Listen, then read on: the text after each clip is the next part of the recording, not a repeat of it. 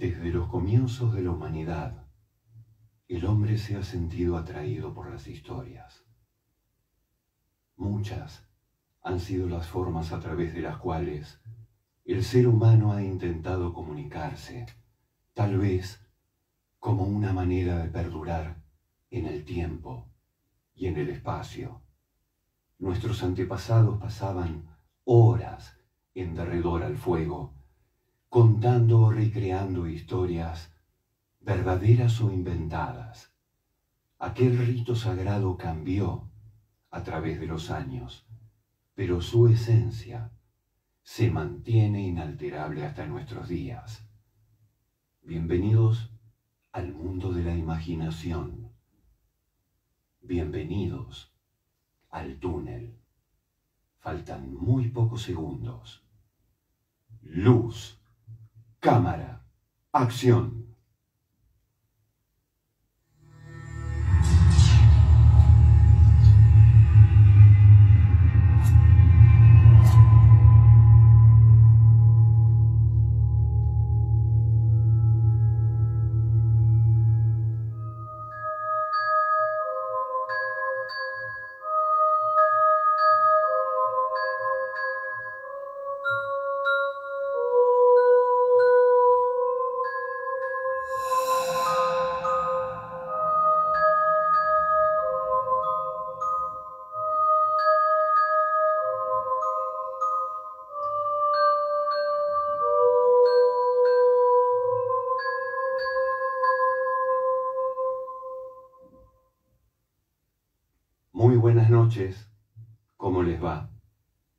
Estamos, finalmente, en el túnel. El túnel va a ser un programa atípico. Recomienza un programa que comenzó en pandemia con música de cine. El túnel se va a proponer una tertulia, una charla, más que una entrevista. Un viaje al interior de los artistas. También pueden ser filósofos, también pueden ser poetas, directores, bailarinas, bailarines, actores, actrices. La idea de este programa es que ustedes encuentren el lugar indicado. Ustedes que no saben qué hacer un viernes a la noche, ustedes que no encuentran su lugar en el mundo bueno, a las 23 horas de todos los viernes va a comenzar el túnel, una nueva aventura hacia el interior del ser humano. Y también, por supuesto, vamos a tener la parte convencional, un pequeño porcentaje de entrevista como se entiende en las entrevistas. Hoy, en el primer programa, un lujazo. Tenemos a un realizador cinematográfico, un director de cine que comenzó con la fotografía. Comenzó con la fotografía, luego siguió por los videoclips, con gente muy conocida, músicos muy conocidos, como por ejemplo Diego Torres o grupos como Catupecu Machu, etc. Iremos hablándolo a través de todo el programa. Luego esta persona comenzó su carrera propiamente cinematográfica. Director, realizador cinematográfico, director de fotografía, guionista, director de actores y un montón de cosas más porque también hace cámara. Por supuesto, está hoy aquí, a quien vamos a invitar porque un hombre que vive desde hace muchos años de su profesión, que es generar la autogestión. Eduardo Pinto, muy buenas noches, veo que has aparecido. Muchísimas gracias por estar en nuestra primera entrega del tour. Hola Eduardo, ¿cómo estás? Hola, ¿qué tal? Buenas noches. Eh, un gusto, un placer. Gracias por El agradecimiento es nuestro, es un lujo poder tenerte hoy aquí en nuestra primer entrega del túnel. Y como hablamos hace un ratito, esto es un viaje interno. Ya tendremos tiempo para ir desarrollando toda tu gran trayectoria. Me gustaría comenzar este primer encuentro con una pregunta directo al corazón.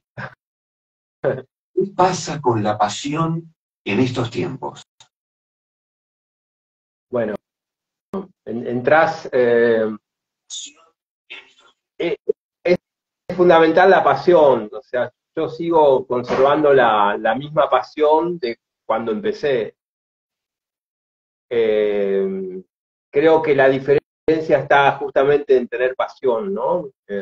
uno si no, puedes hacer productos, pero si, si, querés hacer obra, tiene que haber pasión, ¿no? Tenés, que tener ganas de hacerla y, perder muchas cosas también por hacer esa, esa obra, ¿no? Y creo que la pasión es fundamental y, trato de, rodearme de apasionados. que, que, yo siempre digo, trabajar con amigos, seres queridos, apasionados, ¿no? Porque de esa forma um, se establece un, código, un lenguaje. Eh, por supuesto, y un lenguaje que vos reflejás muy bien mediante la imagen. Eh, yo quiero, eh, a medida que se va sumando la gente, comentarles que te descubrí hace un año, hace muy poco tiempo, soy realizador cinematográfico también, y un día de casualidad este, enganché haciendo zapping una película tuya y dije, acá hay algo muy interesante. Y cuando empecé a averiguar acerca de, tu historia, de tus comienzos, me encontré de golpe con una persona de mi edad, 56 años, que lleva por lo menos la mitad de su vida ejerciendo la profesión, como dije al comienzo, primero como fotógrafo, eh, luego este, dirigiendo videoclips y hasta meterse de lleno en la dirección, en la producción, hasta haciendo cámara, el guion de, si no me equivoco, este, me corroborás o, me, corroborarás o me negarás que hiciste unos 10 largometrajes. ¿Estoy en lo cierto? Sí, en realidad sí, ya parece que son un poco más, son 12, 12 películas ya, y que es un montón. Y que de alguna forma, yo cuando a veces me presentan director, yo entiendo porque hay que rotular, ¿no? Para mí es todo parte de lo mismo. Eh, porque yo empecé como la, el, primer acercamiento que tuve fue al agarrar la cámara de mi papá a los 13 años. agarré una cámara y empecé a encuadrar y ahí estaba haciendo todo. Estaba de alguna forma haciendo cámara, escribiendo un guion, porque encuadraba unos malbones o una perra y unos pájaros. O sea, eh, para mí es todo parte de lo mismo, ¿no? Eh, pero bueno, a, esta edad, a los 56 años, ya asumo que hago todo eso. Antes tal vez tenía me, frenaba un poco, decía, no, esto no, esto sí, ahora ya me hago, me hago cargo, me hago cargo de que hago de todo, algunas cosas las hago mejor, peor, pero hasta me hago cargo también que soy productor, que antes era la palabra productor me, quedaba como que me daba un poco de repulsión. Pero ahora me hago cargo porque digo, también soy productor y produzco las películas. y entonces digo, me parece que está bueno también, como, bueno, soy esto, hago todo esto, bueno. Y ya la gente que me conoce, como me conoce, yo empecé a los 18 años, 16, 17 años. A los 18 ya estaba en un set de filmación con, por ejemplo, te tiro un nombre, con Marcelo Iacarino, que es un gran director de fotografía, o Salvador Merita, yo ya estaba filmando a los 18 años, entonces digo, ya pasé por, por todos lados, ¿viste? Entonces digo, bueno, soy todo eso. Eh, yo siempre cuento, a raíz de lo que estás eh, diciendo vos ahora, que la técnica en el cine, particularmente estamos eh, hablando de cine, la técnica es como aprender a manejar. Uno tiene que saber dónde tiene que apretar el embrague, en qué momento, los cambios, etc. Pero todo el resto, todo el resto que pareciera que por momentos eh, se le resta importancia, es mucho más importante. Porque eh, tiene que ver con esto de, bueno, ¿qué, haces en los tiempos libres? ¿No? Este, muchos eh, estudiantes o gente que pretende, ya no digo vivir de esto económicamente, lo cual está muy bien, sino desarrollarse profesionalmente. ¿Qué haces en los tiempos libres? o sea, no basta con ir a la clase y volver, no, agarra la cámara, mira películas, escucha música, viaja en el subte, observa ese rostro tan particular, y todo eso te va a hacer director de cine. Yo creo que vos, lo, comprendés, más que nadie esto, ¿no? ¿no? sé qué pensar acerca de esto. No, es, perfecto. O sea, primero, o sea, no sé, para nombrar ejemplos de, gente grosa, Fabio eh, nunca pensó en ser director de cine. Fabio era un tipo que toda su, su, su, obra está basada en la observación. Todo esto que vos decís, viajar en el subte y observar a la gente. Yo, yo, yo vivía en Moreno, de Moreno a, la ciudad de Buenos Aires tenía una hora en tren y yo leía en el tren, venía al, venía al centro, observaba a la gente, todavía lo hago. Si, eh, en mi Instagram está lleno de fotos de, de situaciones o escenas que yo veo eh, a, diario en la casa y las registro. Cine, ver cine es fundamental, ver a los grandes, a los creadores, a los grandes maestros del cine es fundamental y volver a ver las películas, filmar. o sea, si uno quiere ser eh, director de cine, tiene que ver mucho, tiene que observar, tiene que tener pasión, tiene que estudiar, tiene que analizar, analizar una, una película, ¿no? Desde la técnica, y no solo porque uno puede ver una película y, la puede analizar desde la parte técnica, y, pero también desde la, lo emocional, ¿no? desde, la, dramaturgia. O sea, es que el, cine es súper amplio, ¿no? Es muy complejo, es muy complejo hacer cine. Y que, y que esté bueno también. Este, eso es más difícil todavía. Bueno, ahí, ahí este, digamos, lo, lo, que va ayudando son los años y el tener una cámara encima y empezar a grabar, este, no sé, a los sobrinos o a los hijos, este, eh, si es el caso de tenerlos, o a un tío, etcétera. Estar, estar, ver a través de los ojos, digamos, que nuestros ojos se conviertan en una cámara. Y vos lo nombraste a Leonardo, Fabio, eh, y es muy fuerte, porque un tipo como Leonardo Fabio, calculo que ya lo, lo tendrás este, recontra identificado, además se nota en algunas cosas de tu cine también. Un tipo como Leonardo era, entre comillas, eh, ignorante en cuanto a la técnica, pero el, tipo tenía una intuición y tenía una forma de, ver las cosas, eh, inclusive, bueno, nada, tuvo a, Torre Nilsson como, como, como su maestro, o sea, me saco el sombrero que no tengo, eh, sí, hay que hacer, hay que, hay que, hay que sacarse el sombrero ante Torre Nilsson, es una deuda que tenemos. O sea, el gran, uno de los grandes directores de cine argentino, Torre Nilsson, Lucas de Mare, Hugo del Carril. Leonardo ya está reconocido, pero hay, hay, hay varios que hay que reconocer. Claro, claro. Sí, sí. Y la, la, la importancia de cuando uno se dedica a esto, como es tu caso, de estar todo el tiempo incorporando esa, esa información, eh, eh, donde en esta época a veces se cree equivocadamente que con hacer el curso, el seminario ya alcanzan. Y no, no, esto es un estilo de vida, ¿no es cierto? Sí. Bueno, es dar la vida, ¿viste? Un poco, ¿no? O sea, uno es, es dar la vida a lo que uno ama, dar la vida a la pasión, sea, eso me parece que, es fundamental. Yo, yo, eso me sigue pasando y para mí es una alegría. Los otros días estoy terminando una película, ¿no? Que se llama Las Nubes y estoy en el proceso del sonido y de la música.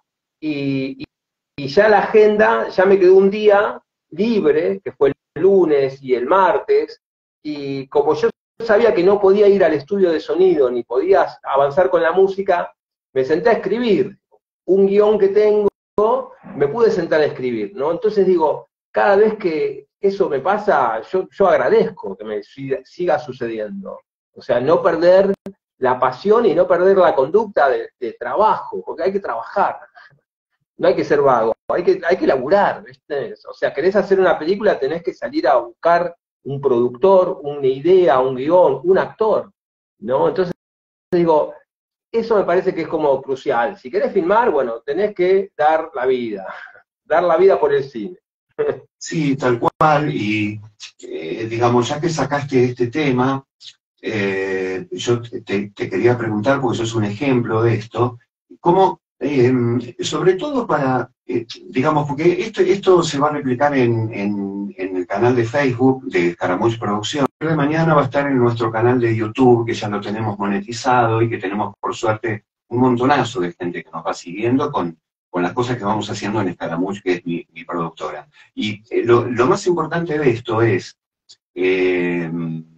cómo ¿Cómo hacer, cómo hacer, como en, el caso tuyo en particular, bien en particular, em, al generar eh, esta cantidad de, productos, digamos, eh, yo me acuerdo, recuerdo haber visto el desarmadero hace aproximadamente eh, dos meses o tres meses, donde vos estabas con Pablo, si mal no recuerdo, que es tu hermano, que es productor y actor también.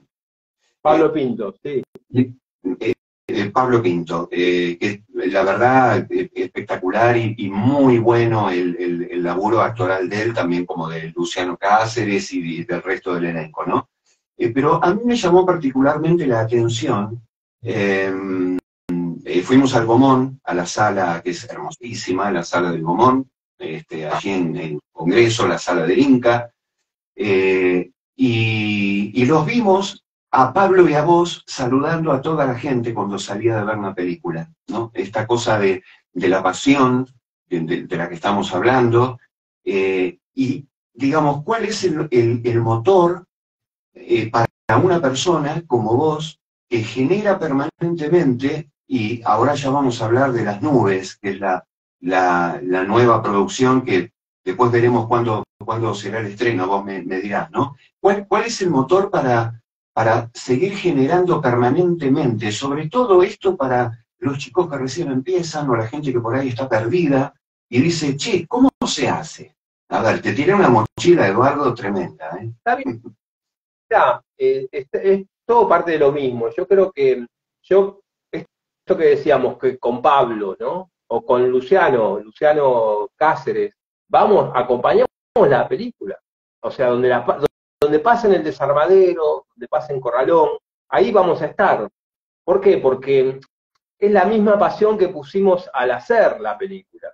Nosotros lo que queremos es poder comunicarnos, todas las películas que hacemos o que hago, las que hacemos con Luciano, con Pablo, estamos comunicando, estamos diciendo algo. O sea, Corralón, más allá de, la, de su belleza, de su oscuridad, oscuridad, de la fotografía, estamos hablando de la diferencia de clases, de la falta de respeto hacia el prójimo. O sea, estamos hablando de algo que es crucial. El desarmadero, igual. Estamos presentando el otro lado, que es el otro universo, tal vez el de los muertos, ¿no? El que, está como medio olvidado, corrido, ¿no? Estamos diciendo, bueno, acá hay algo, ¿no? El personaje construye su, su nueva pintura que es ver a su madre, a su esposa y a su hija, ¿no? Entonces estamos apostando a la imaginación. Eso me parece que tiene que estar siempre. El tema que contemos tiene que, nos tiene que atravesar de alguna forma. Yo, no, yo no sé, yo por ejemplo, la sabiduría, yo después, yo hago, como hice tan, hago, tantas películas, a veces digo, ¿en qué momento hice esta película? ¿No? Porque voy, viste, como eh, donde, donde trabaja Sofía Gala, si mal no recuerdo. Sí, Sofía Gala. En realidad la película, eso a mí me encanta, a mí me gustan todas las pelis. Y también la vez pasada lo escuchaba a Tarantino que, que él hace las películas para él. A mí, yo, a mí me encanta el cine, ¿viste? Me encanto, y me encanta descubrirme filmando, armando una escena que funcione, o ver a, Sofía Gala actuar, a Luciano Cáceres. O sea, son toda gente que admiro. ¿Entendés? O sea, eh, retomo, el cine no se hace solo, tenés que armar una familia. ¿Viste? Lucas de Mare filmaba con Tita Merelo, ¿eh? con Enrique Muño, O sea, eh, eh, Torre Nilsson filmaba con Fabio. O sea, esto, es, un, arte comunitario. Sí o sí necesitas al actor al lado y amarlo, respetarlo y admirarlo, y, él a él le pasa lo mismo hacia, hacia el director. Para mí eso es crucial, ¿viste?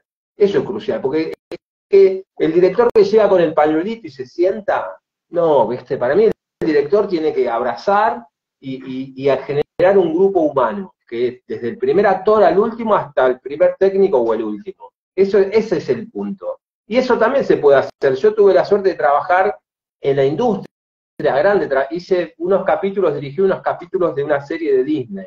Y funciona igual. O sea, yo los quiero a todos conmigo, yo los quiero abrazar a todos y que todos se sientan cómodos filmando una, algo que no existe, ¿no? Entonces digo, eso es crucial, eso es crucial. Es como el teatro independiente. Siempre decimos con Luciano, con Pablo, es como el teatro independiente. Se hace entre 10. Yo ahora estoy viendo un montón de teatro. Y la verdad que, que es una familia que sale y que por tres, cuatro meses monta una obra. Esto es igual, ¿viste? El cine, el cine que a mí me gusta es así. Después, bueno, yo puedo hacer una película grande, filmé en España, filmé para Disney, puedo filmar de donde sea porque me muevo con, con mucha facilidad y tranquilidad, pero digo, lo importante es generar ese caldo de cultivo así de la pasión, ¿viste? Todos juntos vamos y lo logramos, ¿viste? Sí. Eh, ¿qué, pasa, ¿Qué pasa, Eduardo, cuando, que son cosas que surgen inevitablemente? Em, eh, recuerdo haber visto hace unos meses un, pequeño fragmento de una entrevista a, Orson Welles, donde el periodista le, le, pregunta si él prefiere o no trabajar con, con amigos, y donde él responde que él elige trabajar con amigos. ¿Qué, pasa? Y esta es la pregunta, cuando, eh, o sea, ¿cómo manejás vos, digamos, el tema de la amistad y el profesionalismo, digamos? ¿Podés en algún momento separar el rol, digamos, si nos juntamos a tomar unos, vinitos, somos amigos, pero mañana, nos, eh, digamos, arranca el rodaje a las 7 y yo ya soy director y, y vos actor, digamos. ¿Se respeta eso? ¿Qué, qué es lo que te pasa? ¿Cómo, cómo manejas ese tema? Bueno, yo soy, soy, soy bastante pícaro, porque me gustan los amigos talentosos. O sea, dedico trabajar con amigos talentosos. no. Si me tengo que sentar a tomar vino con un amigo, lo hago, pero no lo invito a filmar. O sea, eh, el, el, el, el talento o sea, lo que te decía antes, a mí me gusta admirar al, que, con quien trabajo. al actor, al director de arte, al sonidista, al músico. Entonces digo, para mí la convocatoria es así, bueno, somos amigos. Yo soy amigo, voy a ser amigo toda la vida de Lautaro Delgado, porque él fue el protagonista de, Caño Dorado, estuvo en la sabiduría, y, pero es mi amigo Lautaro, pero también es, es uno de los mejores igual que Luciano, igual que Sofía, igual que todos los actores con quien trabajo. Yo, a todos, todos los actores que trabajan conmigo, yo los admiro. y por eso los amo. Porque yo creo que uno no puede, para hacer una buena película, no puede errar la elección de, ese, del actor. Para mí es crucial. Porque yo también, no es que soy un director que marco cada pestaña, no, yo te estoy entregando al actor el personaje que yo construí y él lo tiene que terminar de darle forma y poner su cuerpo. Entonces digo, ese es el... Perdón. Te corté, te corté. Eh, eh, digo, esta iba a ser la próxima pregunta.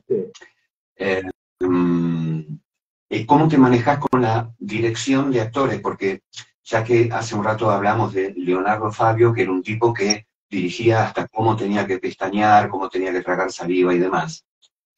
Perdón. ¿Cómo te manejas vos con los actores? ¿Hasta qué punto le das libertad?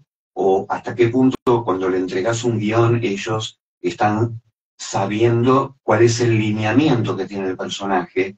Eh, pero sobre todo porque digamos, vos como, como realizador y eh, además como director de fotografía y sabiendo manejar cámara, vos ya sabés cuál va a ser el, plano, el, el recorte que va a haber sobre el actor, ¿no? Eh, ¿cómo, te manejas con los actores en cuanto a la dirección? Bueno, mira, yo creo que es como, es como, viste, la, selección, es como elegís los jugadores que vas a jugar al mundial. Vos tenés que, ahí no te puedes equivocar. Eh, yo elijo al actor, lo elijo. A veces elijo uno y no puede y voy al otro, pero digo, yo lo, lo elijo a, a Luciano, a Cremonesi, a Lautaro, a Pablo. En esa elección hay confianza, hay admiración, hay, hay eh, saber que ese actor tiene la, el talento para, para darle forma al personaje. Yo no soy, yo dirigí publicidad. En la publicidad marcan los parpadeos, marcan eh, eh, el gestito. Yo no llego ahí. Yo, yo al actor le doy, trato de darle un guion que sea claro y que el personaje tenga conflictos claros. si a vos al actor le das un, personaje que no tiene conflictos, que no sabe, el actor va a derrapar y seguramente la actuación no va a ser buena. Entonces yo me, ocupo primero de que el personaje sea creíble, que existan conflictos, para que el, el, actor pueda actuar. Entonces ya está abrazado, ya está protegido, ya está cuidado. Si le das cualquier cosa, uno a veces ve películas y los actores, pobres actores, derrapan, ¿no? Porque están expuestos. En este caso yo me aseguro de que el guion esté cerrado y que funcione, y que los conflictos sean reales, ¿no? Eso funciona. Después yo transmito, la, te digo la verdad, no hago lectura de guion. Yo no leo, no leo, no leo guiones con los actores. Nunca lo hice. Creo que lo hice en una película, y, pero después no lo volví a hacer. ¿Por qué? Porque yo le doy el, personaje y le estoy dando la oportunidad de que él pueda aportar. Entonces, Lautaro viene con algo escrito, Luciano viene con algo, Pablo viene con algo que se le ocurrió, y yo lo escucho. Y si está bueno, si realmente está conectado con lo que estoy buscando, lo tomo, lo tomo y lo sumo. Entonces digo, mi dirección de actores se basa en la confianza, se basa en, que, sea, eh, que los conflictos sean reales, y después esto de darle acciones, ¿no? En un decorado, acciones.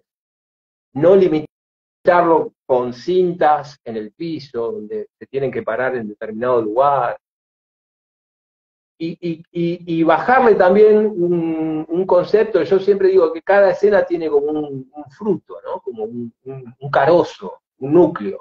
Eh, ahí está el punto. Yo, yo no sé, yo te puedo decir, me acuerdo que a Corina Romero, en Dora la jugadora, le dije, hay una escena donde ella se ducha. Y la verdad que la ducha, yo dije, no te estás duchando, estás haciendo un amor con tu amor, que ya no está. O sea, yo trato de generar una, una emoción. Después, ¿entendés? Digo, esas son mis marcaciones. Después sí, hay marcaciones técnicas, típicas. Primer plano, no necesitas mover demasiado el rostro. Después hay una serie de marcaciones técnicas.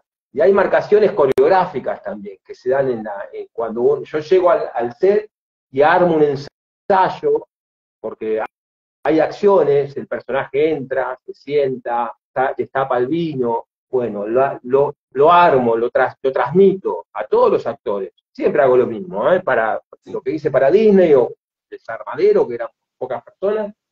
Y esa, esa coreografía está abierta a lo que el actor siente.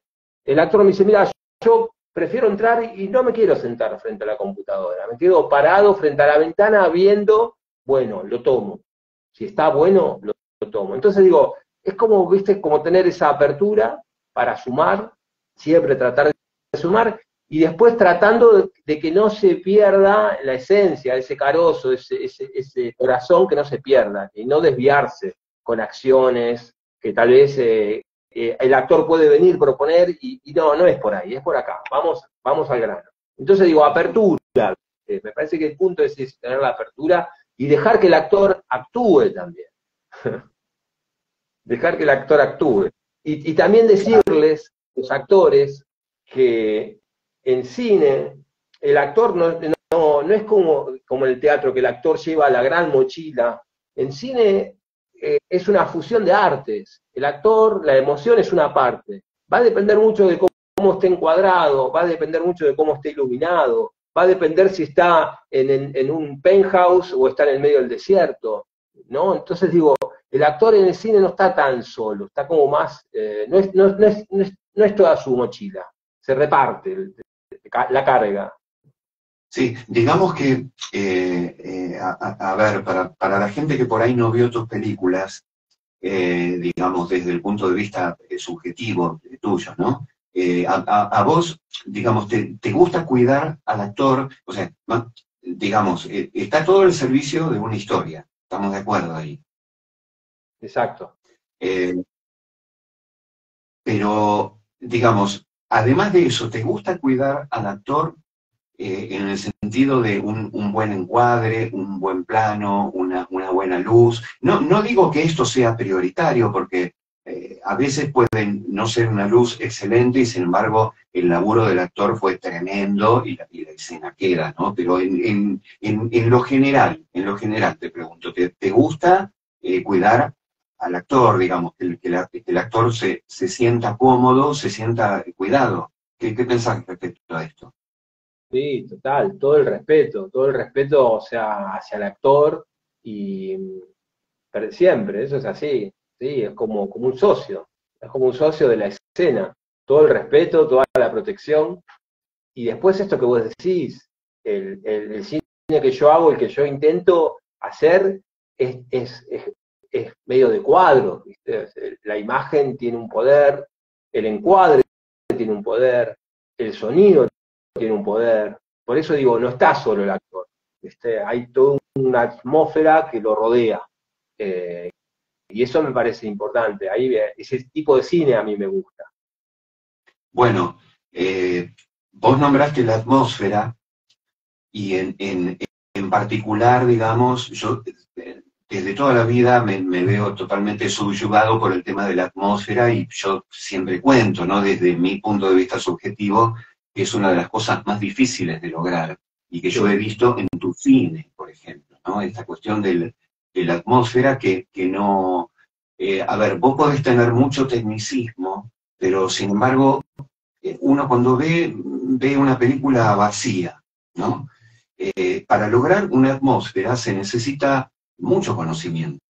Y, esto que, hablábamos hace un rato, ¿no? El, conocer el barro y el conocer esta cuestión de, mira, yo empecé este, lo que sería el paralelo, ¿no? Como un actor que empezó como extra. Es decir, no, yo, yo sé lo que es esto, yo sé lo que es ser el, policía número 5 y hoy en día estoy en un lugar en donde no, me la vas a venir a contar, ¿no? Eh, hablando de la importancia de la atmósfera. Eh, decime, Eduardo, ¿cómo en estos tiempos que corren, eh, hay ciertas cosas que, van mermando. Una de ellas es la capacidad de concentración. Hay algunas redes sociales, como por ejemplo TikTok, que abona a eso de forma diaria, en donde parece ser que un artista, un actor, un director, un músico, em, solamente sirve para generar durante unos pocos segundos. ¿Qué pasa con ese eventual ese posible espectador? ¿Qué es lo, que vos pensás que va a pasar en el cine de acá unos años eh, si siguieran este, creciendo este tipo de redes en donde por una cuestión lógica a, los chicos cada vez más chiquitos los van, eh, les van recortando, digamos, el, raciocinio y esto que decía, la capacidad de concentración. Eh, ¿Vos metés una ficha en que todo va a mejorar o, te pones las anteojeras como los caballos, le pegás para adelante y haces lo que podés. Y es, complejo, yo creo que, a ver, eh, que el cine no, no, va a morir nunca, eso lo tengo en claro, porque o sea, sí depende del, tal vez del Estado, de las escuelas, de los planes educativos, tratar de que de poner al cine en su, en su lugar. ¿no? Eh, yo, yo eh, vi cine en los 80 con el, regreso de la, democracia y todo ese cine expresaba las problemáticas de una sociedad. Eh, entonces digo, yo aprendí historia viendo cine, yo creo que el, Estado tiene que volver al, cine y ofrecer el cine como una herramienta de, estudio, de aprendizaje. ¿Por qué no una materia donde puedas ver películas como centenares de películas argentinas que tratan nuestras problemáticas, ver una película y analizarla? Yo creo que el Estado tendría que eh, fomentar el consumo del cine argentino. Después, Instagram, TikTok, o sea, lo que quieras, lo que quieras, yo lo utilizo, veo, me encanta ver los animales del África, porque nunca los vi, solo veía un documental, o sea, yo también consumo las, las redes, pero digo, el cine es único, eh, o sea, 100, 200 personas en una sala, escuchando, sintiendo lo mismo, pero digo, eso no va a morir, eso no muere. Vos fíjate que están las plataformas, las películas se estrenan en los cines, después van a la plataforma. Lo que sí siento que, que el Estado tiene que comprometerse y entender que el cine es una materia importante para las escuelas, porque crear espectadores críticos, espectadores que se conecten con la realidad, me parece que ahí está el punto. Una vez fui a Bolívar y a un festival de cine de Bolívar y también fui uno a, Tucumán, no, perdón, a Santiago del Estero, y dentro del programa de los festivales los chicos iban al, al festival. Entonces la sala se llenaba de chicos con delantales blancos viendo una película. Ese es el punto, ¿viste? Como aprender a ver cine, aprender a analizar, aprender a entender, poder ver en nuestras películas las, problemáticas. Me parece que ahí hay una, deuda ahí pendiente. Eh, sí, sí, sí, a, acostumbrar a un público, ¿no? Y, eh, gran parte del sistema eh, educativo, digamos, me ha pasado varias veces de, entablar una charla con, gente que te, sostiene, al revés voy a hacer el planteo, digamos, yo siempre sostengo que tiene la misma importancia la música o una buena película que una clase de geografía. Entonces, eh, es un poco, me parece a mí, ¿no? Que esto que vos estás diciendo, de replantearnos la, la manera de, de, comenzar a ver las cosas, sobre todo para los chicos, ¿no? Que, que, que, se empiezan a acostumbrar, digamos, no es más importante una clase de matemática que una clase de cine o cualquier otra actividad artística, ¿no? O sea, que tener, qué sé yo, tres horas de pintura, por ejemplo, con todo lo bien que hace, ¿no? El, arte. Em, pero bueno, es, es para un programa completo eh, hablando de esto. Eh, sí, sí, totalmente.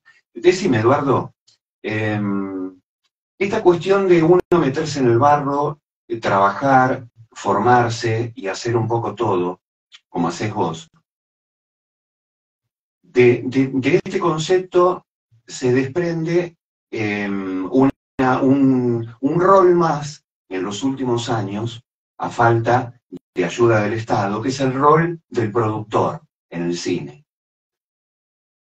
Yo estudié en la INER, que era el CERC en aquel momento, y si había una materia que yo odiaba era producción, por ejemplo. Yo odiaba.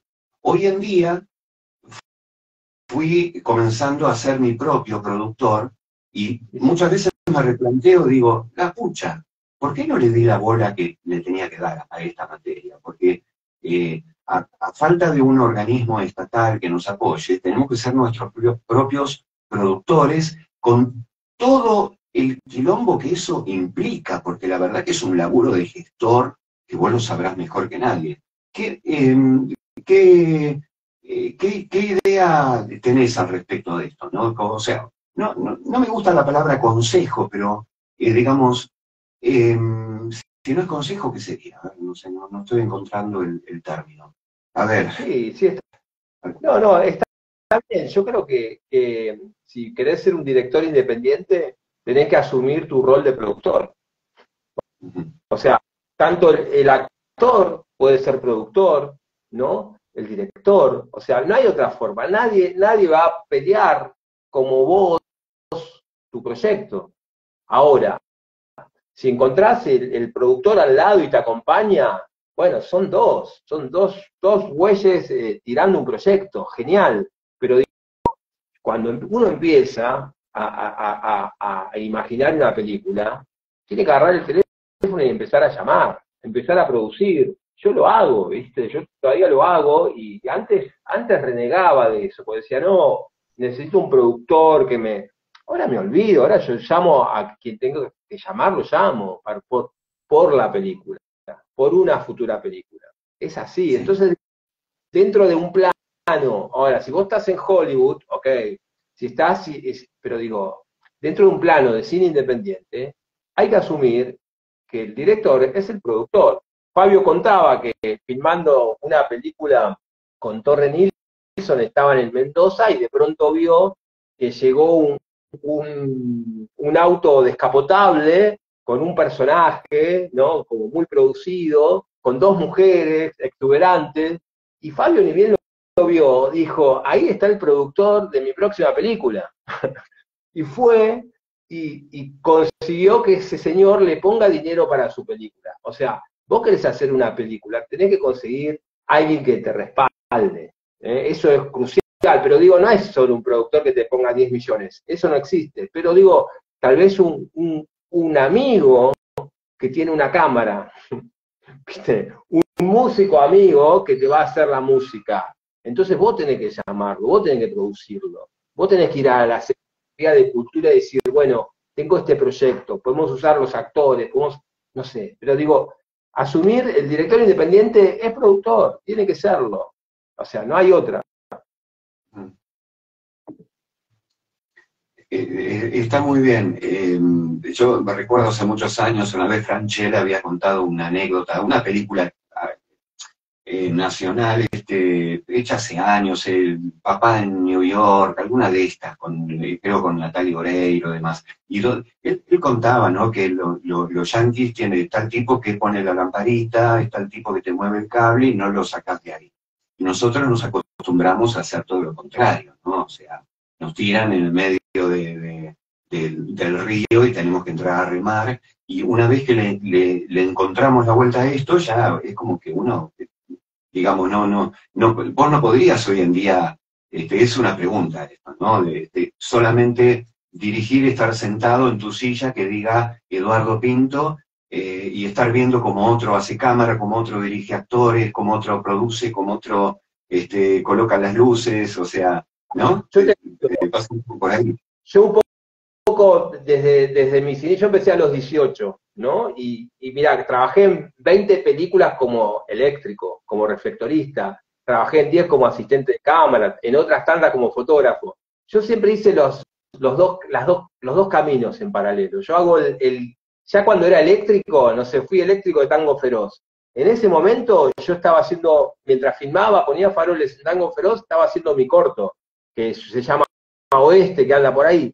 Siempre, eh, para mí, hay que hacer los dos caminos. O sea, yo me llama Disney, es verdad, me pasó cuando fui a hacer esta serie, en un momento casi me, voy a agarrar la cámara, pero no, porque hay dos camarógrafos, gente de primera haciendo. Entonces digo, bueno, ahí, me, adapto a, las dos formas. Eh, tal vez no, no estoy sentado en Disney desde el rack a 20 metros, 30 del set. y me quedo al lado del set, al lado de las cámaras, porque me gusta estar cerca de los actores, pero digo, hay que, hay que manejarse en los dos terrenos. Este en, el terreno del, cine independiente y también en el, en el terreno del cine industrial. Yo creo que, es bueno es, eh, emprender esos dos caminos. Eh, yo lo hago, yo lo hago y lo sigo haciendo porque en el medio que hice Selenkai, la serie esta, empecé a filmar las nubes, que era una película independiente eh, y, hice las dos, ¿viste? Salí de Selenca y me fui a filmar las nubes. O sea, me parece que está bien eso, porque uno no sabe por dónde salta la, liebre, ¿no? Y también no, y aparte, uno tiene que y también uno tiene que vivir, si lo logra vivir del audiovisual es, importante.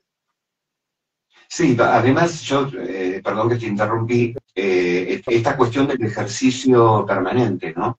Del estar todo el tiempo generando. Y cuando no, no, no estás rodando, eh, eh, estar, por ejemplo, escribiendo, que no son tiempos muertos, sino que uno está, está generando. Y hablando de, generar, ¿cómo te llevas con, con este momento tan controvertido de la, de la creación? ¿no? Cuando te sentás a escribir y te enfrentás a la hoja en blanco, que esto muchas veces le pasa a los que son específicamente escritores, ¿no? ¿Tenés alguna metodología? ¿Te pones música? ¿Ves algunas películas? ¿Qué, te pasa con eso? ¿Cómo, cómo te armás el, esa especie de, universo, de esa burbuja para, para comenzar a crear una nueva historia? Mira, eh, antes eh, cuando arranqué era de, lo hacía de noche, ¿no? A, altas horas de la noche. Eh, me, gustaba ese, la noche para escribir, tomar algo, aislarme. Después ahora, la última, por ejemplo, una de las últimas que fue el desarmadero, ¿sabes lo que? Me iba al gimnasio a la mañana, em, iba a la cinta, corría, y mientras corría pensaba todo, todas las, las escenas y los cortes y demás, volvía eh, y lo escribía en la compu. Entonces digo, yo tengo como, ahora me gusta escribir por la mañana, por ejemplo, me levanto y escribo por la mañana.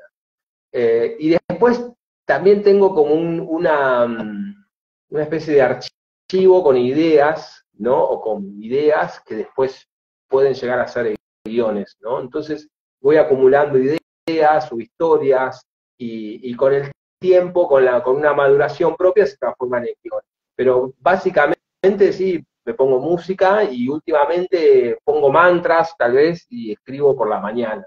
Es lo que hago ahora tomando mate. ya no tomo, ya no escribo por la noche.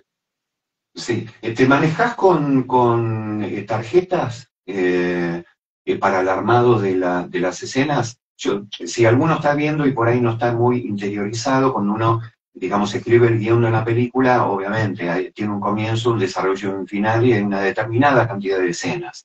Y a veces esto es bastante complejo, entonces uno necesita de un, un cuadradito de, de, donde va pegando las tarjetitas con las escenas, ¿no? Digamos, acá viene la escena de acción, acá viene el clímax, acá viene el, comienza el desarrollo, etcétera, ¿no? Esto, esto para, para alguno que otro que esté viendo o que pueda ver eventualmente. ¿Te manejas con, tarjetas o haces una, eh, una escaleta, digamos, una escaleta simple y, seguís este, tu ruta? Mira, eh, eh, lo que hago, no, no, las que las tarjetitas no me, lo hice en algún momento, yo lo que hago es, primero armo una escaleta, por ejemplo, Corralón tenía, salía a filmar con una escaleta, con un guion de 16 páginas. Eh, y el desarmadero creo que tenía 35 páginas.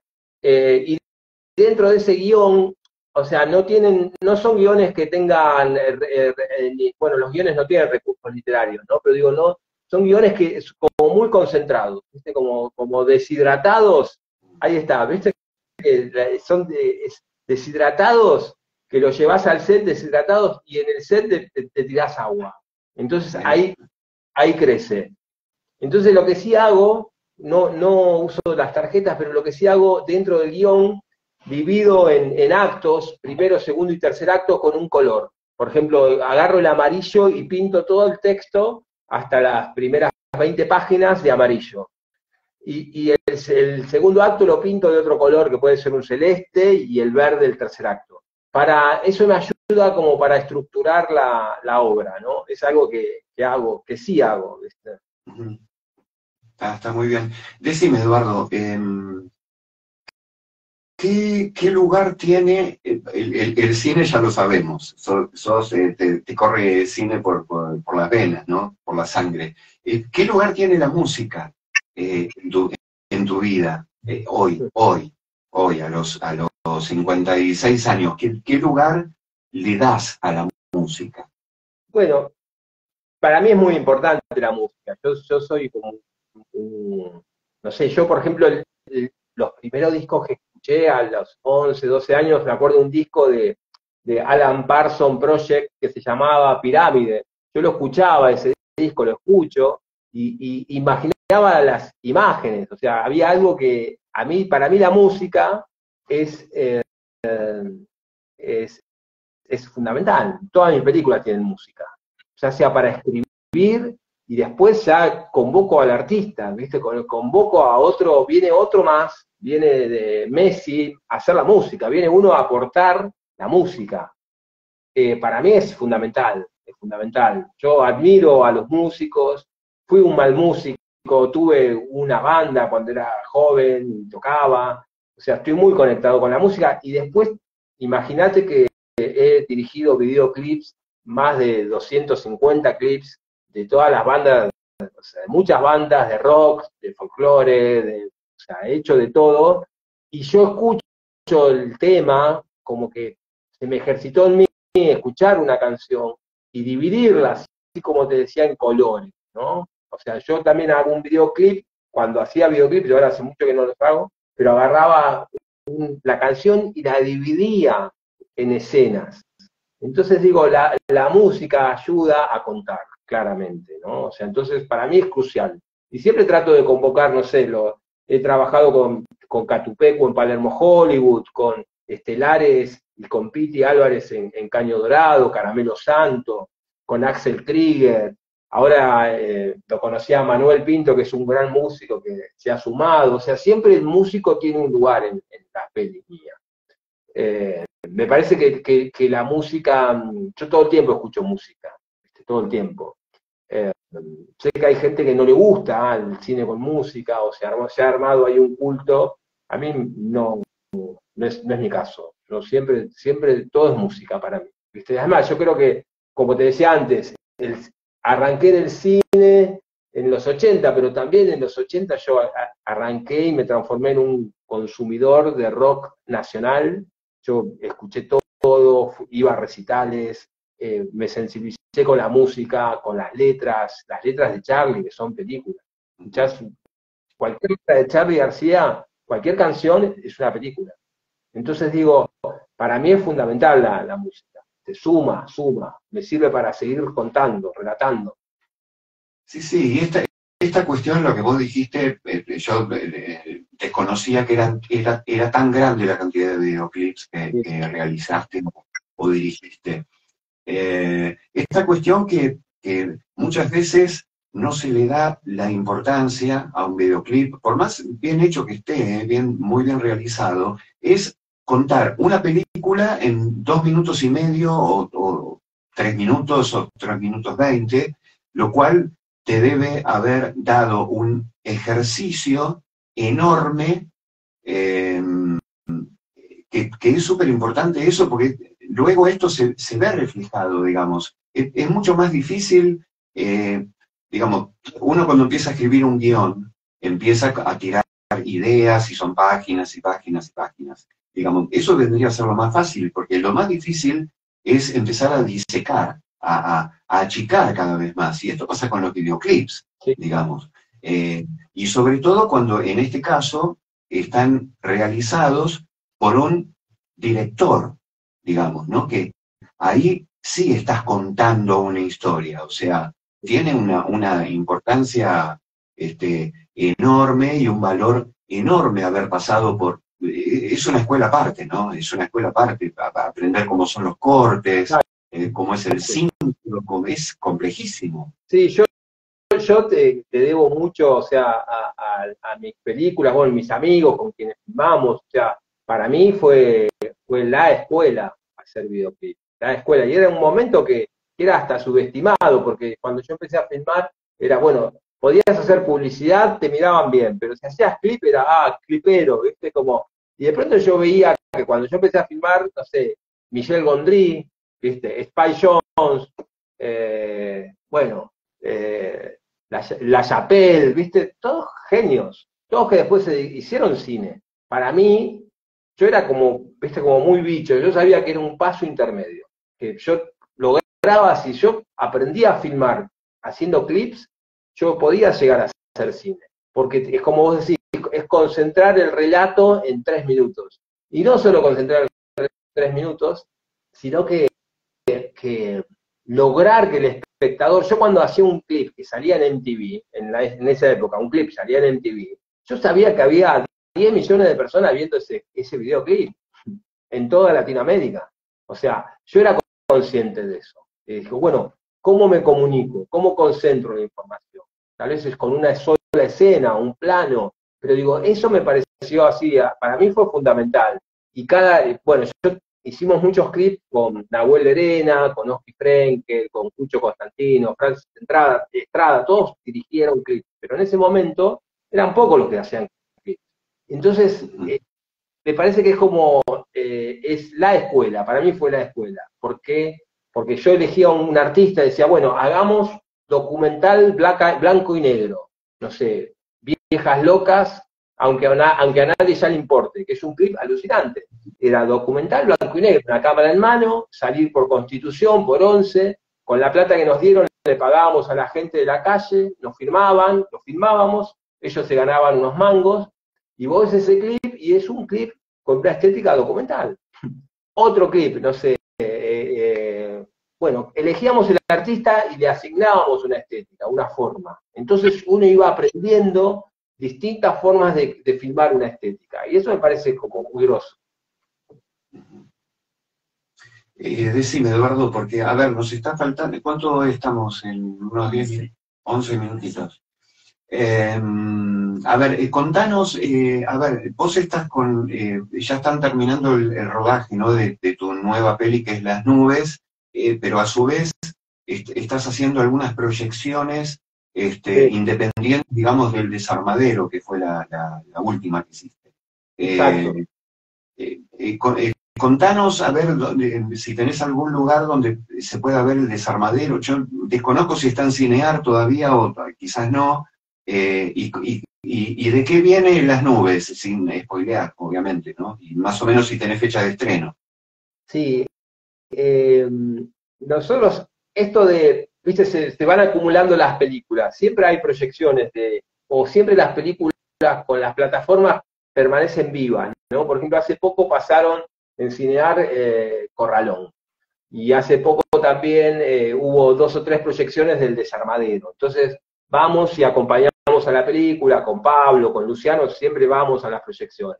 Eso, viste, te mantiene vivo, porque, por ejemplo, ahora eh, en el, hubo un ciclo de cine de terror en el tanque, eh, ahí en el edificio de AISA, eh, donde proyectaron el desarmadero, en las vacaciones de invierno fue. Fue alucinante, porque había, no sé, 80 personas sentaditas viendo la película. Entonces digo, eso es genial, eso sigue pasando. O la pasan en una plataforma. Entonces digo, uno siempre acompaña a las películas. Y Las Nubes es una película que, filmamos en febrero de este año, ya la filmamos y ahora la estoy terminando. Es una ah. película que ahora estoy terminando de editar y con toda la banda sonora, o sea, estoy en, postproducción. Y es una película independiente que la protagoniza Guillermo Zapata, eh, Cremonesi, Andrea Rincón, eh, también está Luciano Cáceres, Pablo Pinto, eh, Patricio Contreras, Daniel Fanego, Leonor Manso, eh, bueno, nada, un elencazo tengo. ¿viste? Se armó una película que es una bomba y es una película, es un policial que sucede en algún lugar de Argentina y, también reflexiona un poco sobre, a ver, sobre la corrupción política, ahí está el tema ahí de la democracia, de la corrupción, también el tema de, es un policial con algún toque de, fantástico, hay un personaje que sufre unas alucinaciones, nada, es una película interesante, estamos re contentos y estamos ahí terminándola, calculo que en un mes y medio ya la, termino. Si después, bueno, eh, todavía no tenemos fecha de estreno, no sabemos qué vamos a hacer con la película, pero bueno, estamos en, pleno proceso de cierre. Digamos que una, vez que está prácticamente terminada es empezar a ver dónde, dónde ubicarla y demás.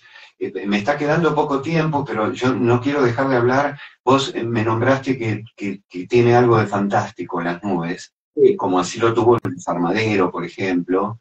Eh, sí, algo que, para que, sí. Sí, hay algo que se, que hay algo ahí que tiene que tiene del desarmadero, ¿no? Que un personaje tiene algunas visiones y alucinaciones, eh, pero bueno, es una, me gusta cómo fusionar los géneros también, ¿viste? Hay algo ahí que, que lo vengo haciendo desde la sabiduría, desde Corralón, ¿viste? Me gusta que, que las películas arranquen como costumbristas y de pronto se transforman en películas de suspenso, terror psicológico. Me gusta como jugar con eso, ¿viste? Sí, sí. Y, este concepto, este concepto em, de, tomar lo que está ahí, como vos me nombrabas hace un rato a, Charlie, inclusive Fito Páez, digamos, tienen el mismo discurso de decir, bueno, la música no es de nadie, es de todos, están todos los elementos ahí, eh, sobre todo hablando del último disco de Fito, por ejemplo, ¿no? donde, donde mezcla un, es impresionante, bueno, esto a nivel personal, ¿no? Es, es un discazo increíble donde vos tenés de todo y vos decís, el tipo te mezcla un tambor con una, una, una, banda de, decir, te mete un poco de jazz, y ellos dicen un poco, digamos, la música está ahí y nosotros tomemos elementos. Y me parece que tiene que ver con esto que vos estás diciendo, ¿no? Hay un montón de herramientas eh, que vos tenés para contar en el cine, decir, ¿por qué, ¿por qué no tomarlas, no? Sí, y, hay, hay, como referentes también. En el cine yo de pronto, a mí me gusta referenciar, ¿viste? digo, bueno, eh, Wong Wai, directamente cuando se lo comunico a alguien, o no sé, Herzog, ¿viste? Entonces, hay algo ahí que eh, eh hacer culto del cine, ¿no? O sea, el cine, el cine es, eh, es una de las últimas artes, entonces digo, podemos nombrar a estos grandes directores, a mí me encanta como nombrarlos, porque son los que la inventaron.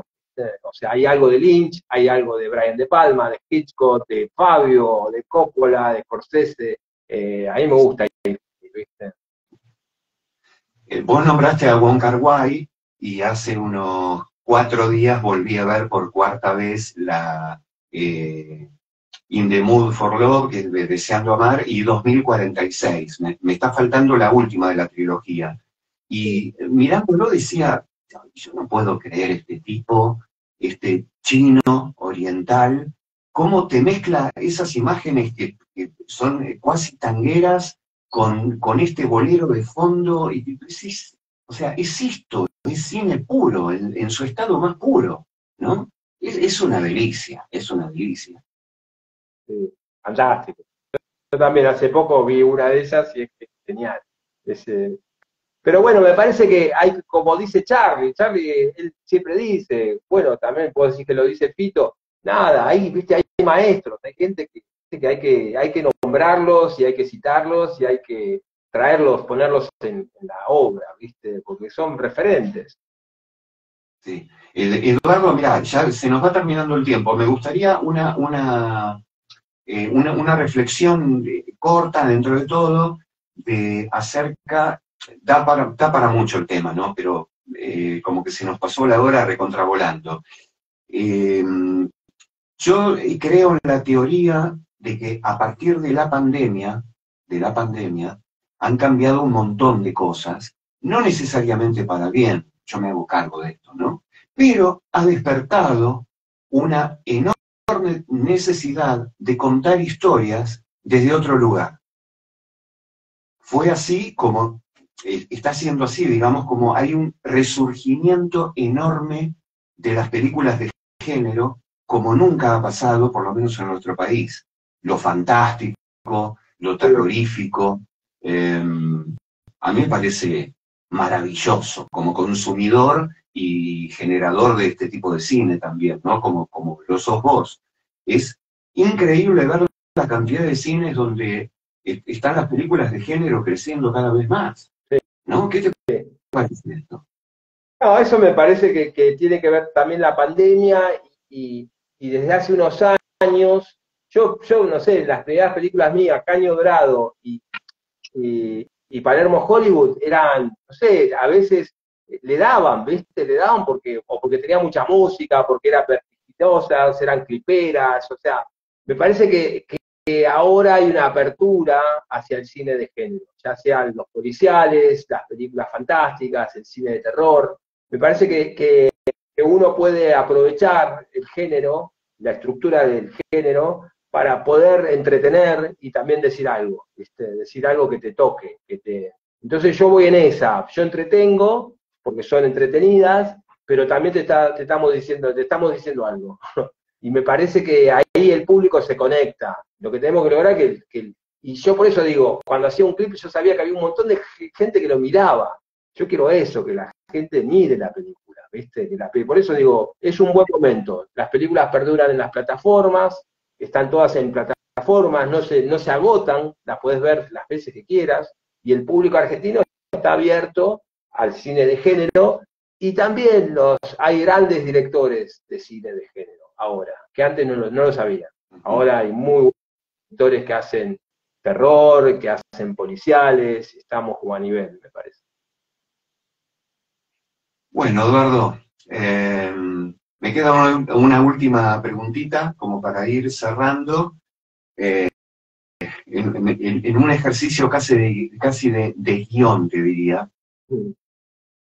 Eh, trata de definir, a ver si encontrás algún término, ¿qué es el cine para vos?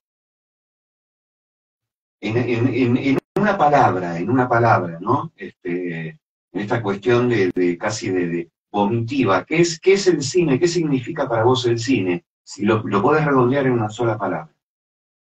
Y es como un juego, ¿viste? Es como un juego de niños para mí. Es como, que es un lugar donde juego y me despierto y, lloro y me río. Y es como un lugar, un refugio. Para mí el cine es eso. Es, un como, es un refugio, ¿viste? Donde lúdico, el, arte para mí se relaciona con la niñez, con, esto de, generar un color, una forma y, conectarse con la gente y disfrutarlo, ¿viste? Para mí es algo de eso, ¿viste? El cine. como conectarme con, con, la niñez, ¿viste? Con esto de juego, crear, como construir una casita con palitos o construir una casa en un árbol o construir un puente o construir un personaje que no existe, ¿viste? eso, me parece que, va por ahí. Construir, qué, buena palabra, ¿no? Porque es eh, hacer una película es construir lo que es para un arquitecto, un ingeniero, construir un edificio para, para un generador de, este tipo de, material y de productos artísticos, eh, hacer una película es construir un edificio literalmente, desde, las raíces hasta este, el último cuadrito. Como un juego, ¿ves? como un juego, como un, juego así de niño, disfrutándolo, eh, entrando en, otros, en otras sensaciones, o sea, eso me parece que es lo más parecido a la niñez. Bueno, Eduardo, nos vamos despidiendo, yo te quiero agradecer enormemente esta larga hora que estuvimos charlando. A los que no conocen, Eduardo Pinto es un director de la hostia, estén esperando eh, la próxima proyección del desarmadero y próximamente, en, unos cuantos meses, eh, el estreno de Las Nubes. Hay que apoyar al cine argentino, hay que ir a, ver películas, al, cine, más, allá de, consumirlas también en plataformas, y hay que ver eso, mucho cine argentino, porque no, el cine argentino no tiene nada que envidiarle al cine de afuera. Nosotros aquí realizamos en nuestro país eh, películas que son igual o superiores a, las Yankees con un 2% del presupuesto que ellos tienen, porque lo que hay es cabeza, hay corazón y ganas de expresar. Muchísimas gracias, Eduardo. Este, sos un excelente director y el universo nos va a juntar en algún momento. Obvio, eh, hagamos un encuentro. Yo te agradezco que me hayas invitado y bueno, hermosa charla, me encantó. Saludos a, todos. Bueno, nos vemos en la próxima. Nosotros este, nos vamos despidiendo de, ustedes. Esto fue El Túnel. Espero que les haya gustado esta tertulia nocturna. Este, a pesar de que nosotros no comimos todavía, ¿no? Nos falta un poco la cena, pero a pesar de todo esto, la pasamos maravillosamente bien. El próximo viernes eh, tenemos eh, muy posiblemente una directora, mujer muy conocida, que nos hablará de, sobre todas las cosas, ¿no? Además de la cuestión artística, de la problemática de por qué no se le da bola a las directoras mujeres en el cine argentino, o por qué son tan pocas. Bueno, aquí van a tener la posibilidad de poder escuchar a una directora argentina con unas cuantas películas este, ya realizadas y estrenadas. Espero que les haya gustado, les agradezco mucho que hayan estado esta hora y cuarto, calculo, más o menos, para el cuarto, y nos vemos el próximo viernes a las 23 horas Aquí, en este lugar, en este lugar que se llama El Túnel, Tertulia de Medianoche. Gracias.